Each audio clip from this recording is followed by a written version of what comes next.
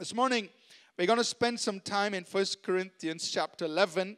Paul says, Imitate me, even as I imitate Christ. Follow my example, is what Paul's saying. Uh, this is something that you and I should embrace uh, uh, and, and, and set as a standard for ourselves. As a leader, here's how I should live. I should be able to tell people, imitate me as I also imitate Christ.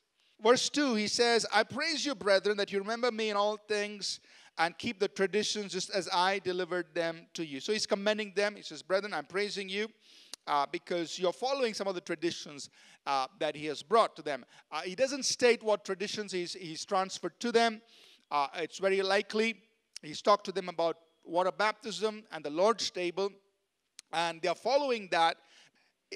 In this chapter, Paul is touching on two issues, two matters. One is about headship and uh, head covering, and the other one is on the Lord's table. In this passage, he's dealing with two things.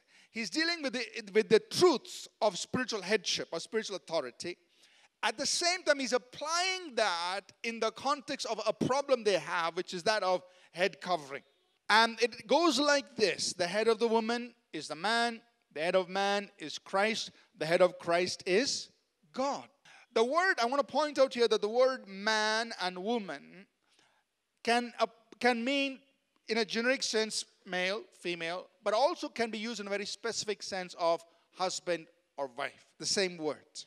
Therefore, the authority, therefore, that, that now should be expressed in the other structures, which is the head of Christ, head of the man is Christ, or the head of the woman is man, should be expressed in the same way. That means the man willingly submits to Christ. In this case, the believing man or the husband willingly submits to Christ. The wife willingly submits to the husband, or in the local church setting, women willingly submit to the leaders who are in the local church. It's a willing submission.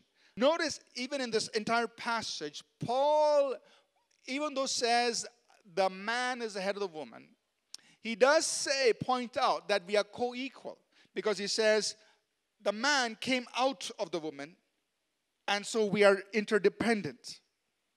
And that is also what the rest of the scriptures say.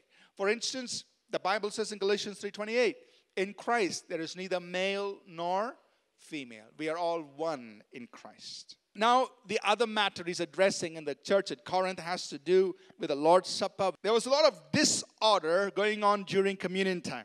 And what we can infer from this passage is that, you know, for some reason, in keeping the tradition that Paul had delivered to them, that partaking in something so sacred had become more like partaking in a feast. And because they were not discerning the Lord's body, because they were doing it in an unworthy manner, God had to judge them. They were placing themselves in uh, uh, under God's judgment. Part of that judgment was what was happening. They were losing out on the blessings that should have been theirs through partaking in the Lord's table. When we partake in the Lord's table, what the Apostle Paul is telling us here is that each time we partake of the Lord's table, we are making a proclamation. We proclaim, he says. We proclaim two things. We proclaim our faith in his completed work on the cross, and we proclaim our faith in his coming again. That's your that's symbolic. Your, your act of faith as you eat that bread and drink this cup, you're saying, I'm identifying with what Jesus did for me on the cross. I am receiving it for myself.